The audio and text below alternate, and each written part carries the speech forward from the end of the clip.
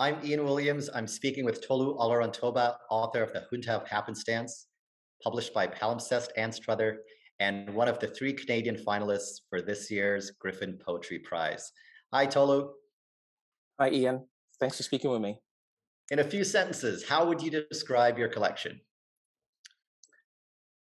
It's a rambling, I would say it's a rambling journey through uh, an internal landscape. You know, it, it grapples with uh, history, memory, um, and a lot of un- unanswered questions about uh, the, the nature of, of, of, reality, the nature of conflict, the nature of uh, interpersonal difficulties, uh, family dysfunction, uh, colonial violences, um, and, and, so forth, and, of course migration, which which was my um, uh, which was the experience around uh, the writing of that book over the three years that I uh, that I wrote most of the poems that are in it.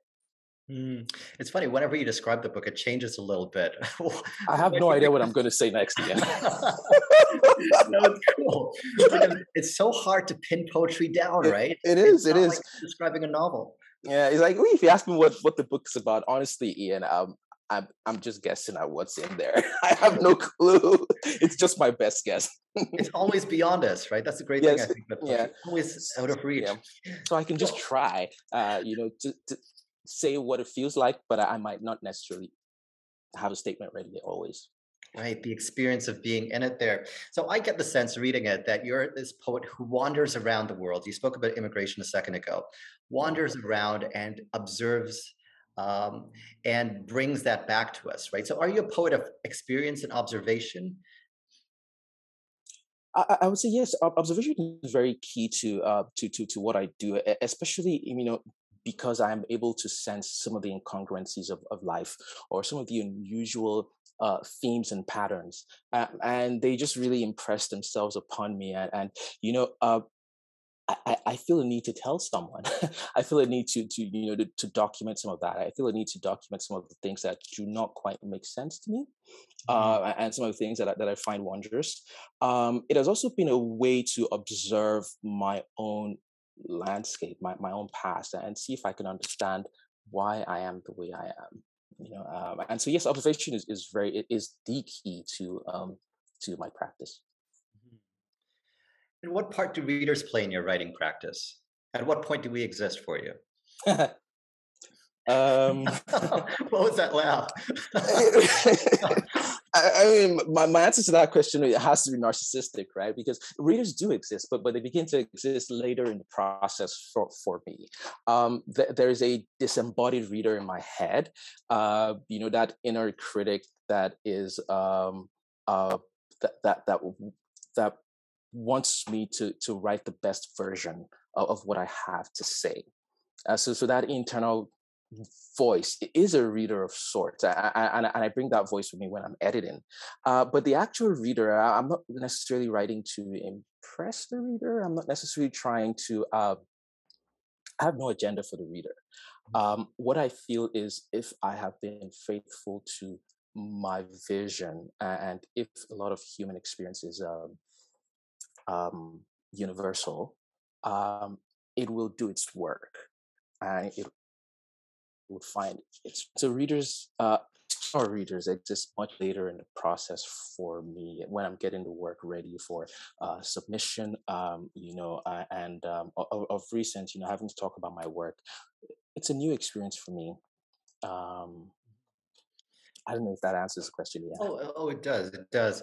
I'll ask it a little bit differently then. What about community for you? Uh, so beyond readership, how do you think about yourself within uh, a community of writers, yourself as a reader? Community is uh, is my life. Um, I I attended the public library MFA, as I say in, in the notes of the book. Um, I, so I, I, didn't necessarily go to any institution to learn how to write. So I, I learned how to write by you know initially emulating the, the poets that I that I that I love, um, and, and, the poets that I I'm in community would continue to to to add to me. Um, and so you know yeah we write poems after other poets uh, you know that they're poets that you know give me prompts uh, they're poets that show me what is possible. And they're poets that are just my friends and we meet up for coffee and so forth. Uh, and i feel that because poetry is so insular and people that have the um, poetic vision are so few, I don't know if that sounds pretentious, um, it is very comforting to me. Mm, your tribe and family in, in, poetry. Yeah. You did go to an institution though to uh, practice medicine and to become a doctor. Yeah. Um, do you have any thoughts on why doctors uh, make such good writers, or uh, what's the connection between medicine and literature? You think? I mean, I was institutionalized, uh, you know, in the medical citadel for six years. Um, I, I, think it's the uh, there's a lot of the training that um, that is very um, useful uh, for a writing practice. You know, we're trained to see, uh, we're trained to describe accurately what we are seeing. Uh, we're trained to develop empathy, uh, you know, for the patients. Uh, and, you know, we see people in a variety of you know distressing conditions, and, and we try to reach them, you know, wherever they are. Um, uh, we're very intimate with, with with with death. We we come to terms with um, our own temporality you know? Um, and, and, i think all that you know impresses very strongly on, on, on people who are uh, paying attention.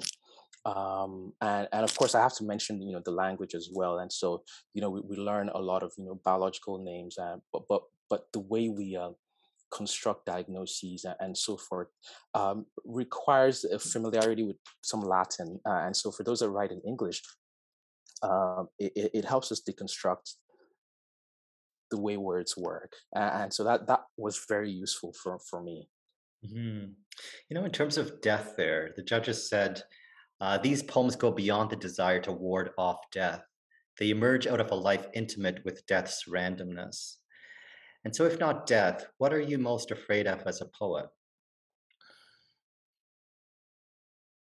I do have to say i'm afraid of death.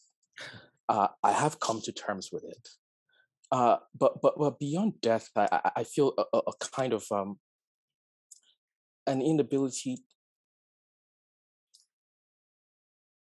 Yeah, that's a good one. Let me think about it. Um, loneliness, I think, is worse than death. uh, and a kind of ideological loneliness, or or, or kind of uh, uh, um, lone conceptual loneliness, in which our perspectives are not received understood or validated. I, I, feel it's incredibly hard to live with. And I think poetry is a part of uh, trying to bridge that gap in which we're saying, um, here I am, uh, here's my perspective. Uh, this is something that I feel is representative of me. And sometimes a reader receives that, and, and that's very gratifying. Uh, the converse is that um, we are um, hurtling, alone, and cold in space uh, you know, without any connection uh, to to another or others. Um, and, and I feel, yeah, that's that's that's worse than non-existence, you know, or death, as the case may be. Oh. Would you share with us a few lines, Tolu? Sure. Can I read a different one? you can read whatever you wish. I'm going to read a part of the poem called Incursus because it has the word griffin in it. I'll read the first stanza. Happening on the fence of Eden, night resolves into griffin guards we had not seen, mat against the confluence beyond, iron shavings of pupils shoved apart by what light there is.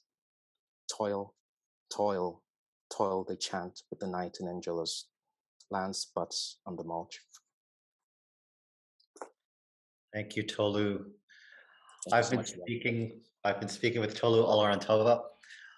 Thank you, Tolu. I've been speaking with Tolu Oloruntoba, author of The Junta of Happenstance, a Canadian finalist for the 2022 Griffin Poetry Prize.